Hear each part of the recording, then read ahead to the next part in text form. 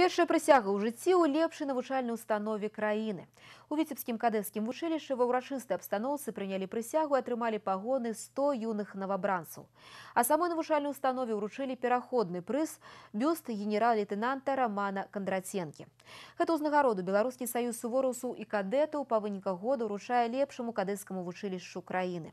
Сергей Мисурагин с Я, Ступкович Никита Иванович, вступаю в ряды белорусских кадет. Обязуюсь в чести и достоинству нести это звание. Свято соб- Правядзенне да прысягі самы ўрачысты рытуал у віцебскім кадэцкім вучылішчы. Толькі даўшы клятву навучэнцы становяцца сапраўднымі кадэтамі. Дагэтуль яны цэлы месяц жылі ў нязвыклых для іх умовах. Бездакорна выконвалі распарадак дня, трывала пераносілі фізічныя нагрузкі і пры гэтым добра вучыліся. І гэта варта таго. У вучылішчы яны знайшлі сяброўскую падтрымку. Тут кожны гатовы прыйсці на дапамогу. С детства хотел стать военным, вот была такая мечта. Вот давно хотел сюда еще поступать, в кадетское училище с 8 класса.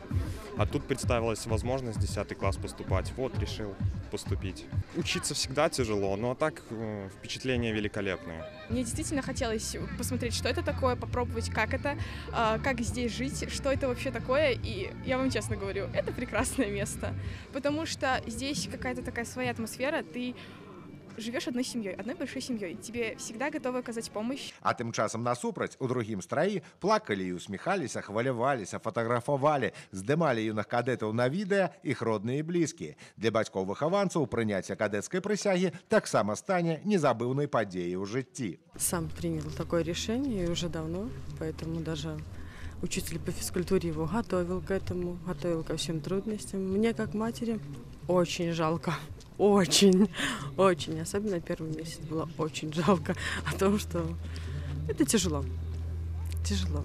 Другая профессия, может быть, было бы лучше, но это выбор сына, я решила просто поддержать. Прысяга прынятая на плацу зноў гучыць каманда смірна. Дырэктар вучылішча Сергей Лагвіненко прымае пераходны прыз. Бронзавы бюст героя абароны Порт-Артура, выхаванца полацкай ваеннай гімназіі генерал-лейтенанта Романа Кандраценкі. Гэту ўзнагароду два гады таму зацвердзілі прадстаўнікі грамадскага аб'яднання Беларускі саюз сувораўцаў і кадэтаў. Валодаць ёю можа толькі лепшая навучальная установа ў рэспубліцы. Витебское кадетское училище – это 260 воспитанников. Вот, у нас учатся и ребята, и девочки. Сейчас ориентированы мы на подготовку э, в высшие учебные заведения, обеспечивающие национальную безопасность Республики Беларусь. И с каждым годом процент увеличивается. А чарговы раз пацвердзіць свой статус лепшага кадэцкага вучылішча ў Беларусі у нашых землякоў з'явіцца 3 лістапада. Віцебляне прымуць адкрытую дынаміяду юны дынамівец па ваенна-прыкладных відах спорту. Сергей Мисурагин, Кирилл Кайсберг, Навіны Віцебск.